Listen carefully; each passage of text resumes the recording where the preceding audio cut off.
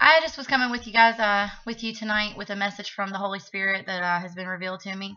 I've been praying and just meditating on um, the Scripture being the Word of God or not, and um, I've come to the conclusion that it's not the Word of God. I have a whole video about that. Um, that I want to be clear that I do believe the Scripture still has a purpose and a place. Um, for those who don't have the Holy Spirit, it is um, it is a way for them to learn about Jesus and, uh, and to learn the character of God and who he was with uh, the Jewish people in the Old Testament.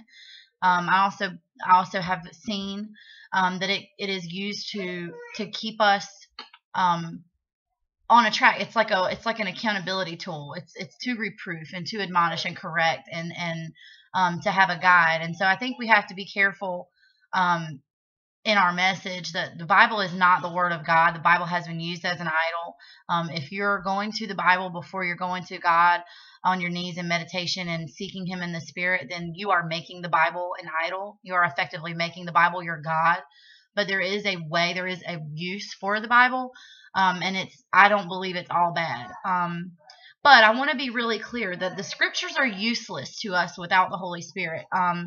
And with the Holy Spirit, we don't need them. So we're back to this paradox. Um, it's like Jesus said, you search the scriptures, for in them you think you have life. Um, but you don't. They're not alive and they never will be.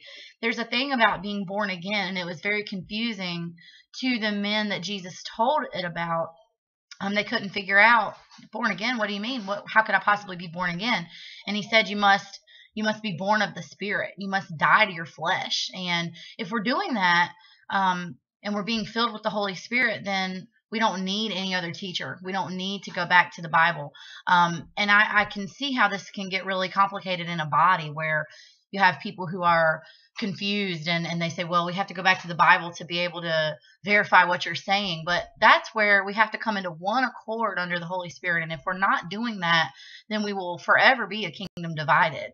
And um, that's why it is such a small remnant today that have the Holy Spirit because he's a gentleman. He's not coming to those who are willing to go to the to go to a book for their spiritual nourishment or those who are willing to go to church for their spiritual nourishment. If you're going there and you are not nourishing others with the Holy Spirit within you, but you're being nourished, then you have to wonder um, where you're at in your walk. And um, if we're if we're nourishing others, then we will be nourished by that. See, so it's like a circle that when we love and we give and we give what the Holy Spirit has given us, we have to we have to give that. That's why it says you'll find salvation. That's why Jesus said that through the blood of the Lamb and the words of your testimony. Because if you don't go out and testify about what God has done in your life, then it's useless. If it doesn't help anybody else, um, then then how's that good? How's that how's that growing the body? How is that working? How's that being the salt and light or the hands and feet of Jesus?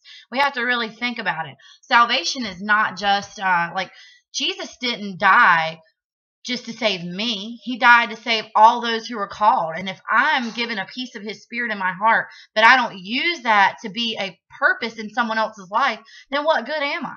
If I'm not if I'm not constantly trying to seek ways that I can serve others, then how what good am I?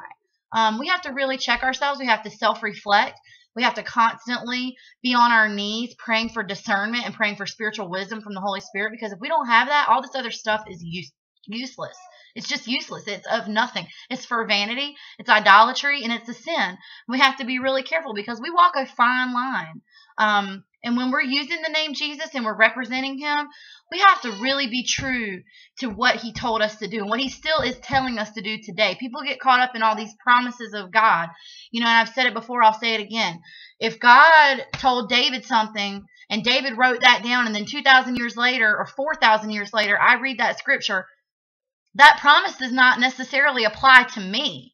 Now, it might show me the character of God, but God has promises for me right now in my life on a daily basis. He is here now. I don't have to go back and read history to meet God or to see what He can do. Um, all I have to do is be a willing vessel. All I have to do is repent and be obedient to His Holy Spirit, and then He can work and do wondrous things through me and in my life and for all those around me. And it will be reflected in everything. Um, and that's why I've experienced a personal falling away. I have three siblings that I don't speak to anymore. Um, only one of them has come back to me in the last year, and we've now started to reform a relationship. But they have all told me they want nothing to do with me because I'm a crazy Christian. I'm radical. I'm obsessed with Jesus, and they can't stand it. Um, and it is a, a, a, dividing line that will come into your life. And he said that, and, and brother will hate uh, sister, and mother and child will, will forsake each other. Um, you know, but there's also there's also we have to be careful because he says there will be those who will kill you and think they are doing me a service, and um, we can't go and commune with those people. We have to have discernment. We have to have discernment. I cannot stress this enough. If you are unsure about something in your life or you don't know which way to go or what to do, if you should wait on the Lord or if you should decide something, let me just tell you, you have to pray for discernment Without that, you will be lost and just out in the wilderness with no clue what you're doing. Um, the, the discernment that God has given me has brought me so far that I can say, I can spot people out a mile away and say they have the Spirit of God or they don't. Or they're seeking God and and they want to find him. They're on the path to finding him.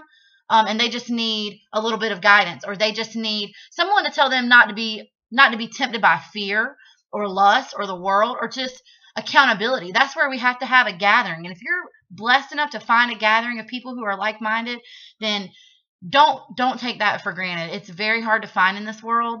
Um, I've been to so many churches, and I've been gravely disappointed and just left there shaking my head in tears for the people who just so certainly believe that they are saved, and they have failed to realize salvation is a journey, not a destination. Jesus said it very plainly only he who endures until the end will be saved. Your salvation is not guaranteed. It is not something that um, you can just say a sinner's prayer and boom, you're there, you're going to make it to heaven. That's not how it works. He said it was a narrow path. He said that for a reason, okay? And he's still saying that today. Narrow is the way but wide is the road to perdition.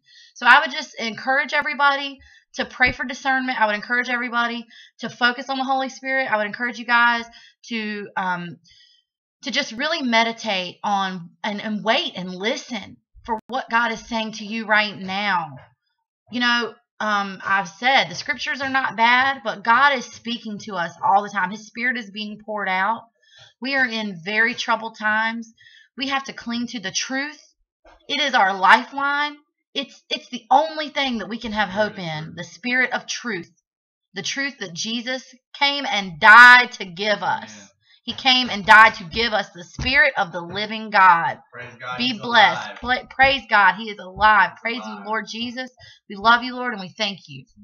In Jesus' name, I pray you're all blessed.